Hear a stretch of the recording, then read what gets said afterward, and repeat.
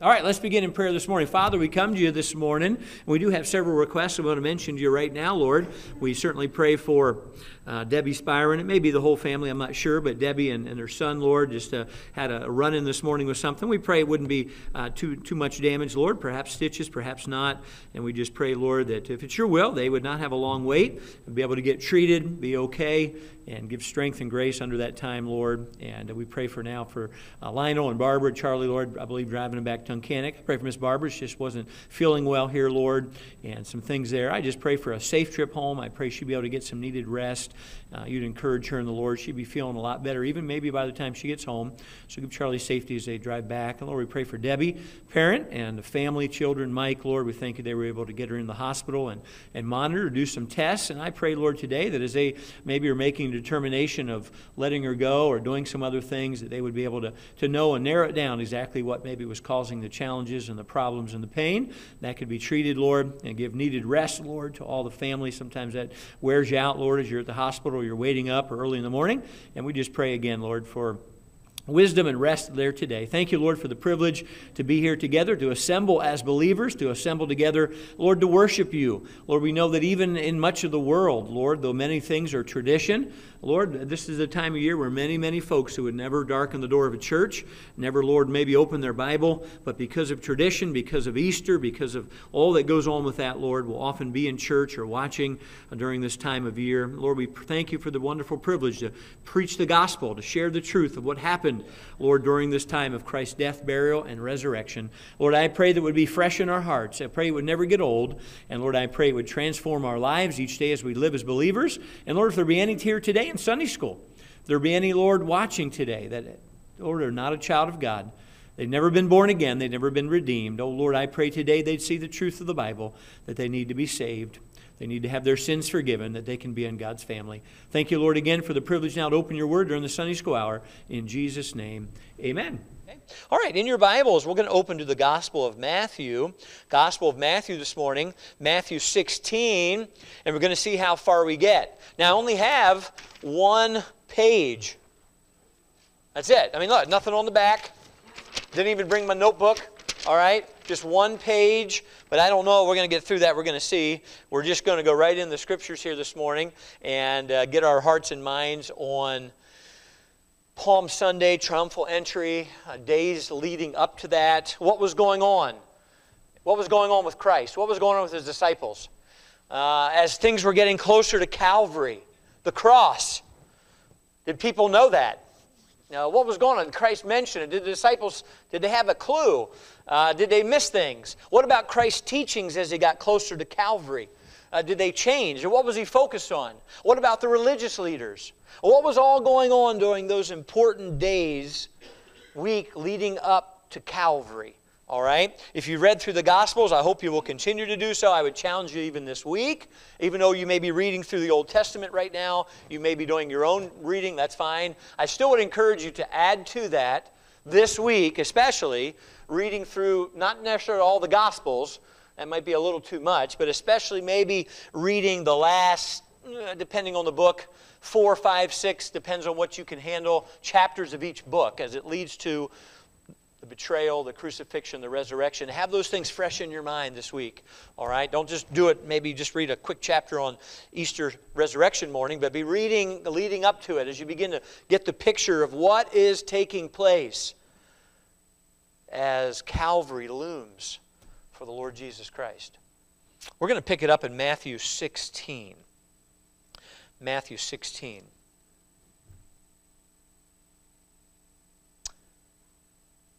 Let's read verse 21. Notice the wording Matthew 16, verse 21. From that time forth, that's an important line. From that time forth, now, what had he just done? Again, we could, we could go way back. You could go back. What had just happened? He had just said, I will build my church. Looking ahead. The gates of hell shall not prevail against it. He had just given Peter a, a great responsibility that Peter was going to be the apostle that opened the doors with the keys, all right, uh, to the kingdom of the gospel. And you can see that fulfilled in the book of Acts. As Peter was the chief apostle there at Pentecost, preaching to the Jews, as Peter was the one going to Samaria after Philip. And wow, as Peter was the one with Cornelius and the Gentiles, Peter received the keys to open the door to the Gentiles in the book of, and the Jews, the gospel. And he just says all of that. Wow, what a great time. Peter's great declaration Thou art the Christ, the Son of the living God. As soon as that happens, verse 21, from that time forth began Jesus to show unto his disciples how that he must go into Jerusalem, unto Jerusalem, and suffer many things of the elders and chief priests and scribes, and be killed. Whoa! That's the first time he's ever said that. And be killed and be raised again the third day. I mean, that's pretty specific right there. Now, Christ has alluded to this previously, but he's never came out and declared it this specifically. He's talking to his disciples. Here's what is about to happen from this time forth. This begins to be one of his themes of his teachings. Myself, the Messiah, the Son of Man, we're going to go to Jerusalem. Well, Lord, you can't go to Jerusalem. They've been out for you for a long time. I mean, they already have posted if you know where he's at. We want to know, reward. We, want to arrest him. I mean, everybody know, we're going to go to Jerusalem. We're, I'm going to Jerusalem. Not only am I going there, I will suffer many things from the religious leaders. And not only that, I will be killed. Now think, I want you to picture if you're one of the 12. And be raised again the third day. Now look at verse 22. The same Peter who just a few verses before, right? Is not Peter just like you and I? Peter, just a few verses before, thou art the Christ. And he gets a special responsibility, honor. And now the same Peter speaks up when he hears this. Because that does not fit the mindset of the Messiah. Verse 22 Then Peter took him, Jesus, and began to rebuke him as if, as if he sort of said, Lord, I need to talk to you real quick. Pulls him to the side and is rebuking him, speaking strongly to Jesus about what he just said. Be it far from thee, Lord. This shall not be. You know what he's saying? No, Lord, no. No. I want you to stop talking like that. That is not going to happen. I'm not going to let that happen. It's not going to happen. Stop that. I mean, he rebukes the Lord Jesus Christ. And what happens here? You know the story, I think. Verse 23. But he turned, Jesus turned and said unto Peter, He rebukes Peter, but he's rebuking the spirit of Peter, which is the spirit of the devil. Get thee behind me, Satan. He's not saying Peter is Satan. He's saying, Oh my, that's that's you're speaking as the devil. That's what the devil. The devil doesn't want me to go to the cross. The devil wants just like the temptations. The glory right now the, the crown before the cross. Get thee behind me, Satan. Thou art an offense unto me. For thou savorest not the things that be of God, those that be of men. Wow, I'll tell you what, a lot of lessons we could learn there. How many of us we see ourselves with Peter?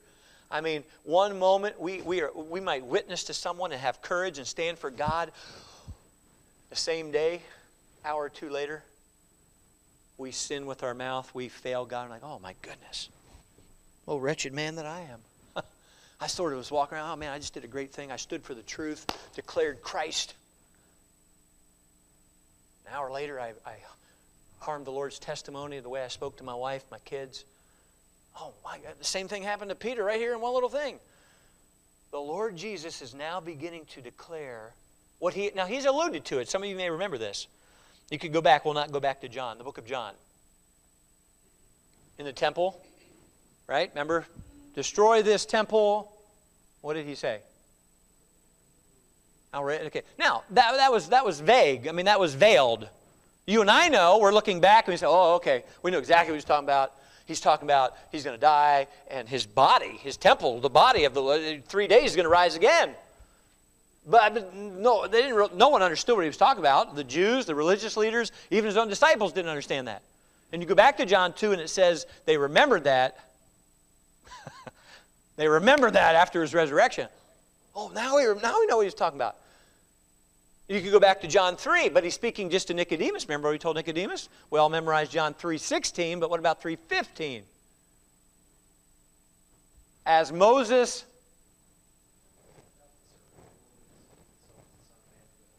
as Moses, going back to the book of Numbers, as Moses lifted that bronze serpent, look and live. And by the way, the brass serpent obviously is a picture of Christ because he said, Who could look and live? What was that? Anybody. Anybody. Whosoever will. Whosoever will. Doesn't mean everybody did whosoever. As Moses lifted up the serpent in the wilderness, even so must the Son of Man be lifted up. Now, he's alluding to the cross, but he's speaking just to Nicodemus, and no doubt Nicodemus did not necessarily know what he was talking about. Although I suppose he could have went home and meditated on that. Moses lifted up the serpent, even so must the Son of Man be lifted up. Lifted up on a cross, become a curse so Christ has alluded to what would happen to him, but not as specific as he just said. John 6 51, as he's talking about the bread, he talked about the fact that the Son of Man would be, he didn't say killed. But so you can go back and read in the Gospels, and you can see some things where Christ said some things that you and I say, "Oh, that's talking about that's talking about the cross." But the first time he really has said it publicly to his disciples in great detail is right here. From that time forth, began Jesus to show unto his disciples how that he must go into Jerusalem and suffer many things of the elders and chief priests and scribes and be killed. Now, that was inconceivable to any Jew and their picture of the Messiah. No way! When the Messiah comes, he's the king. I mean, no one's going to overthrow him. He's going to come in and he's going to set up his kingdom. And he's going to rid Israel of the Romans or any other nation and he will reign forever as the son of David, right? Certain prophecies you pick out and apply. Other ones in the Old Testament, well, I don't know. All right? No, Lord. And he rebukes him. No, Lord. Stop talking that way. I don't want to hear that. It's not going to happen. And the Lord rebukes Peter. Next chapter, chapter 17. Look at verse number 9. Matthew 17, 9. And as they came down, we're going to go back and look at this. And as they came down from the mountain, Jesus charged them, saying, Tell the vision to no man until the Son of Man be risen again from the dead. Now that's twice here. Two times, Son of Man will be risen from the dead. He did say he would be killed, but he said twice now. Now, who, who's he speaking to right here? You guys speaking to? All right, only three disciples now. It's not everybody. It's Peter, James, and John. We're going to talk about that in a minute. So Peter, James, and John were taken up to the top of the mountain to see the transfiguration of Christ as, as he really is, God, whoa, in all his glory. And he comes down, he says to those three, Do not tell anyone what you just saw until the Son of Man be risen again from the dead. Now, what was their reaction? What would you say? Lord, tell us more about that. And but they were focused a little bit on what had happened up there. It was just like you and I would be. All right. Now, I want to get off not off track, but there's some fascinating things here. Sometimes we will read the Bible and we might say, you know, it always bothers me a little bit about you know Jesus and sort of like picking three disciples only. You know, like that's isn't that showing favoritism? Like, no, this is only for Peter, James, and John. Not only Peter, James, and John. I mean, what made them more special? Sometimes we'll read that, and by the way, that's our sinful nature. That's our, our that's the way we look at things. We look at things through the Bible. Remember that. That's why we struggle with things in the Bible. Number one, we're not God, and we also are looking through the lens of as a sinner who has a deceived heart, and we have the flesh. So anytime we read the Bible, remember, like, man, God, sounds, that makes it look like He's a bully. That's not very loving. I don't know why He did that. Whoa. Let God be true and every man a liar. I can't, I mean, how, how, why is John the beloved disciple? I thought he loves everybody. You know, you ever, maybe you don't say it out loud, but I mean, how come, looks like John's his favorite. And how come Peter, James, and John? I mean, why is it just three? You know, and, and if you ever do that, and again, it's common to man, but if you ever, it begins to discolor your view of God, whoa, you better put on the brakes real quick. You better say, Lord, forgive me. Whatever just popped in my mind is a wicked thought. It's not of you and of your word. I've got to cast that down because that discolors your character. That slanders God's character. That's really what Peter just did. No, Lord. So when, when we do read the Bible and we're looking at stuff and sort of and it, it, it, slanders God's character that He's a good God and a gracious God and a holy God. That's one of those we need to in a way rebuke ourselves. Whoa, that's wrong. I, Lord, my thinking is wrong. It's wrong. I may not understand this, but it is wrong because you always are good. I just don't understand all that's going on here. But but uh, just a quick side note on Peter, James, and John. If you were to go through the Gospels and, and ramp up your studying instead of just maybe reading, which is we all need to do, and go back and actually look at the times where it was just Peter, James, and John. You're not going to find that many. All right? You're going to see this one here where he takes him up to the mountain. You're going to see him where he goes into the little girl's room. She's 12. Jairus, his daughter, says just Peter, James, and John. And he raises her from the dead. And then you're going to see one other time in the Garden of Gethsemane where they go into the garden as the disciples, but then it says he, he goes a little farther away and he asks Peter, James, and John to come a little farther, and then he himself goes even farther. So you have Christ, Peter, James, and John, and the other disciples minus Judas. And you're sometimes like, why does he do that? You know, if I was there, I would feel bad. I would feel bad. How come I'm not part of that group? I thought the Lord treats everybody equally. Well, God always does it right. God is always good. God's far above our thoughts and our ways. So, why did Jesus do that? It's interesting. You could look on your own. I was reading on this a little bit, and I like what one pastor said. If you go back and look at the story of Jairus, little girl, they're in the room, and they see Jesus say, Damsel, arise. That 12 year old girl who was dead, had no pulse, was not breathing, got up showing Christ's victory over death, his power over death to these three disciples. Then, when you come here to Matthew 17, where they're taken to the Mount of Transfiguration, and they go up to the very top, and they don't even know what's going on. They're just up there, and all of a sudden, whoa, they look over, and there is Moses. How do they know that was Moses, by the way? and there was Elijah. How do they know that was Elijah? Did they, did they have a picture book? Did they say, that's the way they've always looked? That's got to be Moses. I mean, it's got to be. Nobody else has hair and a beard. And a, that's, that's got to be Elijah. There is two Old Testament figures, we'd say giants, that are on the mountain talking to Jesus, and Jesus is in his glory. At, like, I mean, what we would see in heaven as God Almighty, they can't even look. Whoa! No, that was just Peter, James, and John. And when he comes down, he says, Tell no man what you've just seen until after the Son of Man is risen from the dead. Now, the little girl that was risen, power over death. The transfiguration, Christ showing he will be glorified in his death. And then, if you were to go to Matthew 26 in the garden, Christ surrendering to death. You say, well, what was that? But then think of those three men. What happened to James? First disciple martyred, Acts 12. What happened to Peter? Greatly persecuted and, as far as tradition, crucified. What happened to John? Greatly persecuted, tried to kill him many times, banned to the island of Patmos. You think they forgot those three things? Suffering must come before glory. The cross always comes before the crown. We want the glory, we want the crown, we want the rewards, but it never works that way. It never is.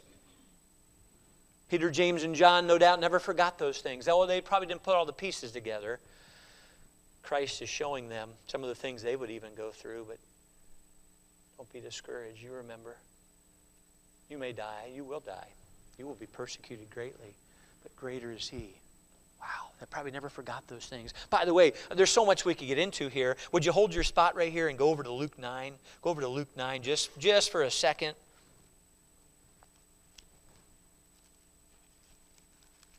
Now, you might think the Sunday school hour is too long. I think it's too short. All right? It's like, oh my goodness, clock is always moving. All right?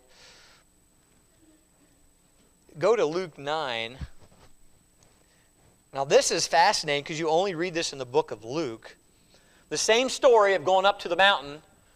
Jesus, Peter, James, and John. But in Luke 9, look at the story. Pick it up in verse 28. Luke 9 28. Luke 9 28. Now remember, this is all right before Calvary. And it came to pass about in eight days after these sayings, he took Peter and John and James and went up into a mountain to pray. And as he prayed, the fashion of his countenance was altered, and his raiment was white and glistering. And behold, there talked with him two men, which were Moses and Elias. That's another way of saying Elijah, who appeared in glory. But look at this. What were they talking about over there? And spake of his decease which he should accomplish at Jerusalem. So you have Jesus, God, speaking in a little group. I've heard someone say one of the first Bible conferences is right here, all right? A little Bible conference. And you've got Moses and Elijah, and guess what they're talking about? Jesus' death and suffering. It's going to happen at Jerusalem. In fact, that word decease there is the word exodus. Isn't that interesting? They spake of his exodus, his departure. Now, why Moses? Oh, there's so much you can get into here. Why Moses and Elijah? Moses always represents the law, Elijah represents the prophets. Moses and the prophets. How many times we looked at that as we were talking about Bible interpretation? Christ took Moses and the prophets. Moses and the prophets. Mo- this, is, this is representing the law and the prophets. Moses, what did he do? Did he involved in any exodus? He led the children of Israel out of Egypt and out of what? Bondage and slavery. What about Elijah? Elijah, the prophet of God. What was happening when his great moment on the mountain with Mount Carmel? He led Israel out of idolatry, out of bondage. And now here they are talking to Jesus Christ up on the mountain about his decease and departure and death. And what's he going to do? Oh, far greater than they did. He will lead all mankind out of bondage from sin forever. Wow. Peter and James and John are observing all this. Wow. All right. No doubt they didn't understand everything, but boy, they remembered it later, probably as they were suffering for Christ. Back to Matthew 17. Back to Matthew 17. All right, let's pick it up a little later in the chapter. Boy, we're not hitting everything right at time, rapid fire, but we're, we're, we're trying to get you up to a certain point. All these things are happening. Christ is beginning to talk about him dying, but he's never mentioned how, has he? He just said, I'll be killed. That can happen a lot of different ways. Look at Matthew 17, verse 22. And while they abode in Galilee, Jesus said unto them, The Son of Man shall be betrayed. Has he said that before? Shall be betrayed into the hands of men, and they shall kill him, and the third day, third day, he shall be raised again. Now, that's the third time he said the third day, and what was their reaction? And they were exceedingly sorry. Now, let's not get tough on these guys. Most of us don't like talking about that. We don't like talking about death. If you're in a conversation with somebody and they start talking about, now I might die, and here's the funeral plan. So you, blah, blah, blah. Most of us like, I don't, want, I don't want to think about it. I don't want to hear that. Just stop. Stop talking about it. As if that's going to keep it from happening. We don't want to hear about suffering. We, we, the most popular Christian fiction books are not on suffering and persecution. They're on, woo, look what happens. Everything turned out great. The, the, the movies, woohoo, look at the happy ending. Yea, all that will live godly in Christ Jesus shall suffer persecution.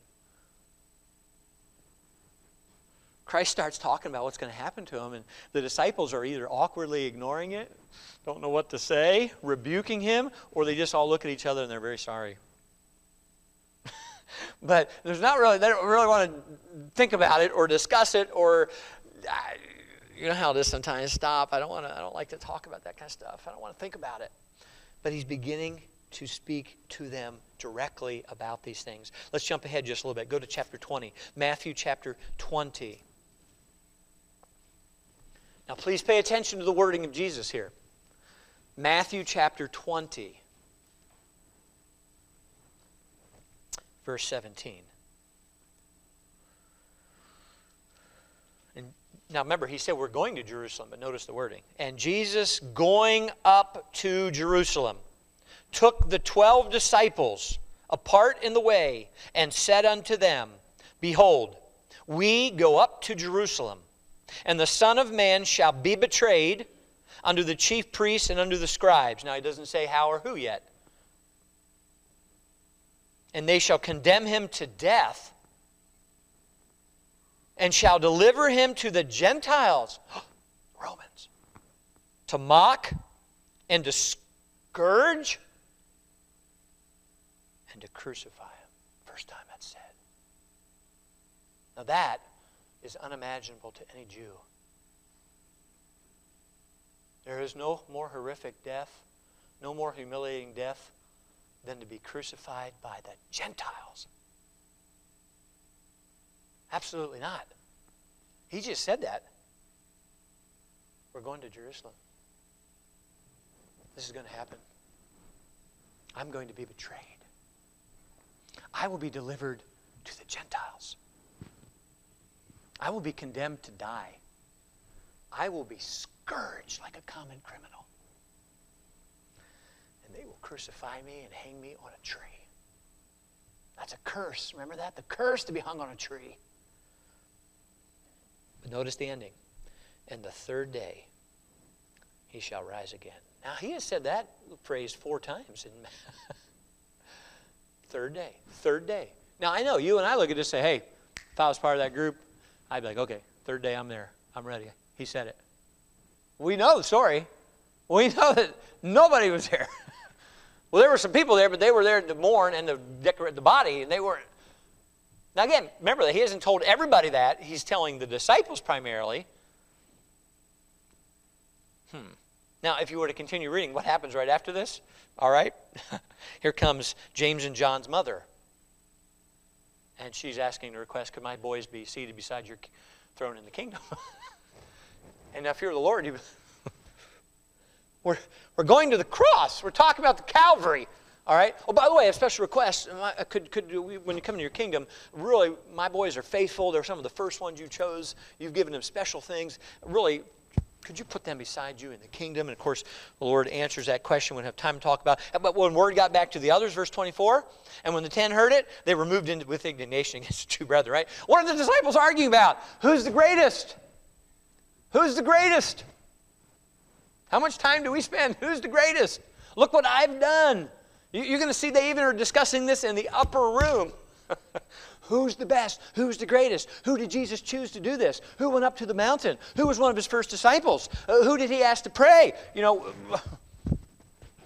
they're, they're arguing about who's the greatest, who's the most important to the Lord. They are not paying attention any bit about what the Lord is saying and what he is experiencing. And I'll tell you what, I see my, that's me. Right?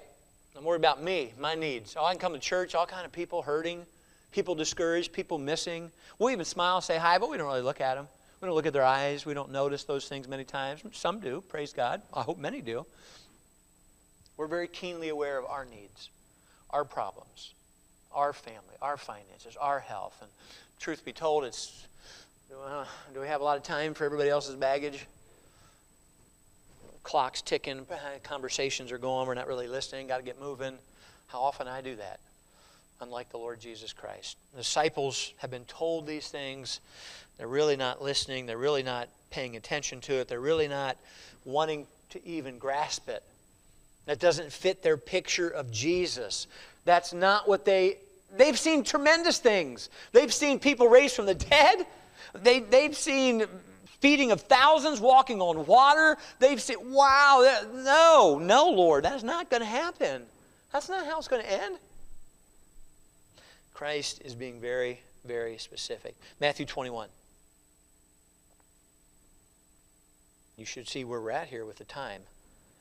Matthew 21, verse 1. And when they drew nigh unto Jerusalem and were come to Bethphage, unto the Mount of Olives. Then sent Jesus two disciples, saying unto them, Go into the village over against you. Straightway you shall find an ass tied, and a colt with her, a foal, a baby, a younger one. Loose them and bring them unto me. And if any man say aught unto you, ye shall say, The Lord, the Master, hath need of them. And straightway he will send them. Apparently, perhaps some followers of Christ. Hey, what do you got? What are you doing with those? The Lord. Oh, absolutely. Verse 4 All this was done that it might be fulfilled, which was spoken by the prophet, saying, Tell ye, this is quoting Zechariah, tell ye the daughter of Zion, behold, thy king cometh unto thee. But not try, meek, meek, sitting upon an ass, donkey, and a colt, the foal of an ass. That's meek. That's humiliating. That's not the second coming in Revelation 19 when he's coming on a white horse. King of kings and Lord of lords. This is the suffering Savior, the Messiah, coming into Jerusalem riding on a donkey. Verse 6 And the disciples went and did as Jesus commanded them, and brought the ass and the colt and put them on their clothes. So you get a picture here. Christ is riding on the younger donkey, the colt. The mother is also there, maybe to the side or a little bit behind, being led along. They put some clothes or something on the, hor- the donkey for Christ to sit on. Have you ever ridden a donkey, anybody? You ever gone to like a fair? You done some stuff like that? You go to a horse farm? I mean, sometimes they'll do that. Little little kids will ride on them. I mean, that's you know, if if we showed a picture of you riding a donkey, most people would, you know, or you go to Grand Canyon or some of those trips where you ride those you know, I mean, you know, it's not glamorous. It's not like a big, majestic horse. Uh, you don't see a lot of donkeys in parades, do you? July 4th. You know, I mean, you know, oh, donkeys are stubborn. They're, you know, I mean, a horse, majestic, and Christ is riding, meek, a colt.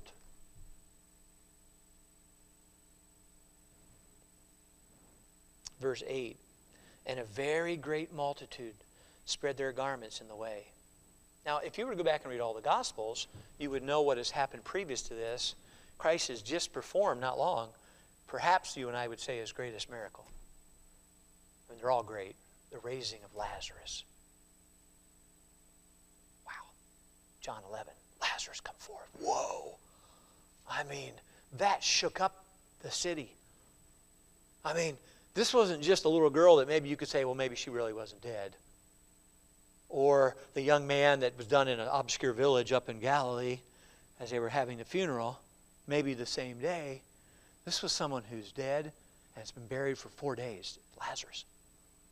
This is someone whose body stinks. This is there is no way you can explain that any other way. Lazarus is lo- and the Bible says many believed on him. Many went and told the chief priests and leaders, and they said, What are we going to do?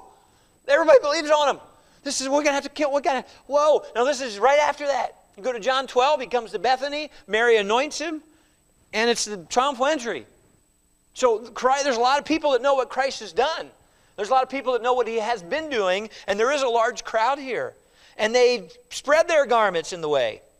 And they put down the branches and the palm branches. And they, they make almost like a procession for a, a king, if you would. Verse 9, and the multitudes that went before, and by the way, there would have been millions in Jerusalem because this is the beginning of the feast week. People, Jews are coming from all around the world for the Passover. This is the week you're getting things ready for the Passover. It, uh, go back and read the other Gospels, you'll see where he, he's going to, well, he's going to cleanse the temple because everyone's buying and selling and bartering and getting lambs. And I mean, Jerusalem is swelled in population. And verse 9 says, The multitudes that went before and that followed. Now, I don't know much about these multitudes. Many people just get caught up in emotion. If you were out there and you're just in town, and you're like, what's going on? Oh, Hosanna. You might jump in as well. You might not even know who that man is riding that donkey. You might, oh, that's Jesus. You might just be like, oh, awesome, yeah, everybody else is. You might believe what you're saying. But you could just simply be, yeah, everybody else is having a great time, let's go. There's massive crowds, and, and they're following, and they're saying, Hosanna. Hosanna to the Son of David. Blessed is he that cometh in the name of the Lord. Hosanna in the highest. Maybe the disciples started that. Uh, maybe there were other followers. Maybe everybody was sincere. We're not here to decide that. But there was a large crowd, and they are giving some Bible prophecy. Hosanna, does anybody know what that means? Maybe you have a study Bible. We sing sometimes Hosanna. Sometimes we don't always remember what that means. That means save now. Save now. You know, save, yes. Hosanna to the King. Yes. You know, it almost is like a, a king is coming, and everybody in the crowds, and of course it gets to the religious leader. What's going on here? All right, verse 10. But notice the reaction of most people, verse 10. And when he was coming to Jerusalem, all the city was moved, saying, Who is this? So uh, it, it was sort of a false triumphal entry. Yes, it looks majestic, but he's fulfilling prophecy riding a donkey, meek and mild, getting ready to go to the cross. Most people, hey, who is that? Who's that? Who's that? What are we doing? Verse 11, notice what most people said. This is Jesus, the prophet The prophet. This is Jesus, the prophet of Nazareth. Well, no, he was not just a prophet from Nazareth. So just because there were a large crowd, just because everybody was excited, just because you were saying the right things, what's going to happen less than a week later to those same multitudes? What are those same multitudes going to say? Crucify him. You better be careful how fickle the crowd is. Not one, we don't have anybody speaking up less than a week later. What do I do with this man? Crucify him. Crucify him. Now, it doesn't mean everybody said that. The same group here, woohoo, crucify him. This is go with the crowd. There's a lot of believers, a lot of unbelievers. That's exactly how they, they just go with everybody. Everybody's at church, they're at church. Nobody's at church, they don't come to church. It's very chameleon, you know. Everybody's pumped up. Ooh, I'm pumped up. Uh, nobody there, huh? And we just we just fluctuate with what the crowd does. We just go with the flow. If, if everybody's doing right, we'll do right. If everybody does wrong, we'll do wrong. If we're at someone's house and watching a good show, we'll enjoy it. We go to someone's house watching a bad show, we watch it. I mean, it's like, what in the world? Who are you? I mean, just wow, we just do go, go with the crowd, go with the flow. And here's the crowd, yeah, hey, it's a prophet, okay, great. And what happens, verse 12? Jesus went into the temple. Now remember, this happened two times. One at the beginning of his ministry, John 2, right here at the end. Similar story goes in and sees all the proselyting, the gain, just like a big market. You can read that on your own and go back and see that. Verse 15 And when the chief priests and scribes saw the wonderful things that he did, and the children crying in the temple and saying, Hosanna to the Son of David, they were sore displeased. Oh, oh what's going on here? This is dangerous. Is he going to try to start something? We're going to, oh, uh, you know, you can go back and read the triumphal entry. We have just a few minutes. Let's go to Matthew 21. You're in Matthew 21. We're already here. I wanted to get to this. I'm almost at the end of my page. We're not going to quite get to it, but I want to quick introduce this. Maybe you can study this on your own this week. Verse 18. Now in the morning, as he returned into the city, he hungered. And when he saw a fig tree in the way, he came to it and found nothing thereon but leaves only, and said unto it, Let no fruit grow on thee henceforth forever. And presently the fig tree withered away. Now, we could stop here. Some people say, oh, I can't believe Jesus did that. That's so mean. Now, my, we were just down in, in Shelby. My father-in-law has a fig bush. He likes figs. All right he transplanted from his home he grew up in. So they weren't blooming yet, but he has a, lot of figs. So if you've ever eaten those, all right. So fig trees typically uh, the fruit normally comes before all the leaves. So when you see the leaves, you should assume there's fruit, or there's fruit leaves and then there's fruit, etc. Christ looks like he's just doing something rationally. He got upset, ah, cursed be the tree. But if you understand the Bible here, if you understand what he's doing here, and we don't have time to read into all of it too, in the Bible, fig trees almost always picture of Israel. You go back and read it in Jeremiah, you'll see it in Hosea. You'll see Israel's pictured as a fig tree. All right? Christ comes to the fig tree, and it's, it's a picture of the nation of Israel. Israel has leaves, but no fruit.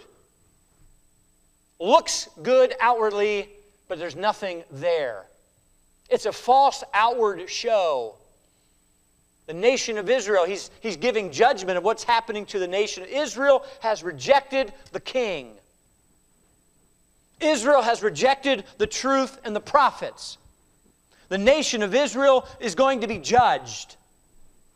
No fruit. Now, he, he comes back to that because if you read the other Gospels, the disciples have some questions about the fig tree and all of that. And so I'm just going to introduce this. I'd love for you to study this on your own. Christ does three parables in a row. Remember parables? Oftentimes they are all, all tied together. And he gives three parables here leading up to the cross. Verse 28, and again, many people do not properly interpret these parables. You just pull them out. All right, he gives the parable of the two sons. You probably use this, parents. Father asks the one son to do something. The son says, Absolutely, I'll do it, Dad, but then he doesn't do it. Second son says, No way, but then he changes and does it. Now, you can certainly make some loose application there, but let's make sure we understand what he's talking about. they, he, eh, verse 31, he says, Okay, now here's my parable. Now, whither of them twain, which of the two sons did the will of his father? They say unto him, Well, the first one. Jesus saith unto them, Verily I say unto you.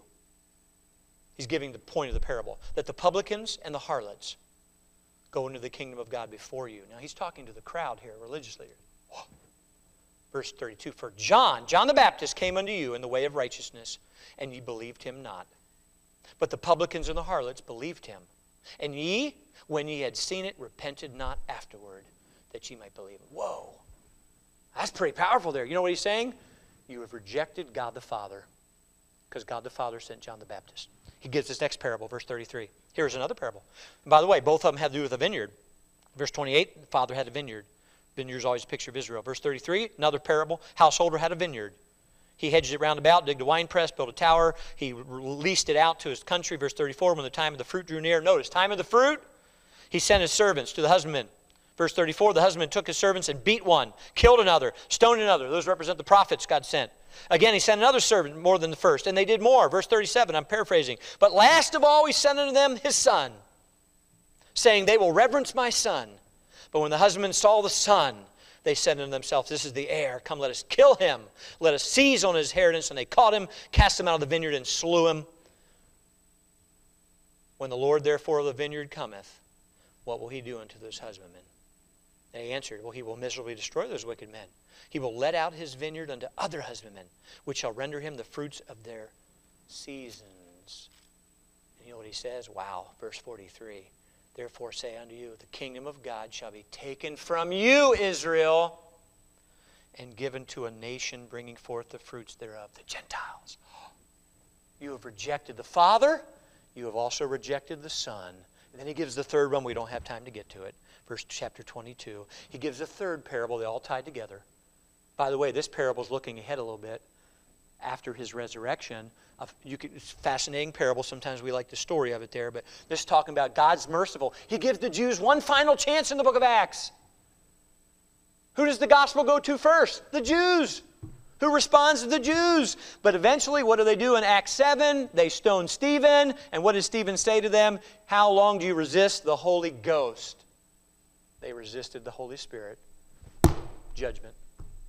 What happens the rest of Acts? Gentiles whole rest of the book of Acts. It's all Gentiles. Israel, you have rejected the king. Judgment is coming. That happened in AD 70. Rome, Titus came in, destroyed Israel, the walls, the temple, burned with fire. Wow. Christ heading to the cross. And that brings us to the upper room, which we don't have time for. It is 1015. Our time is finished. Hopefully, we got a little bit there to whet your curiosity, give you some things to study. Rejoice in the Lord Jesus Christ and what He did for us. We'll continue that in the morning message. All right, we'll see. You got 15 minutes?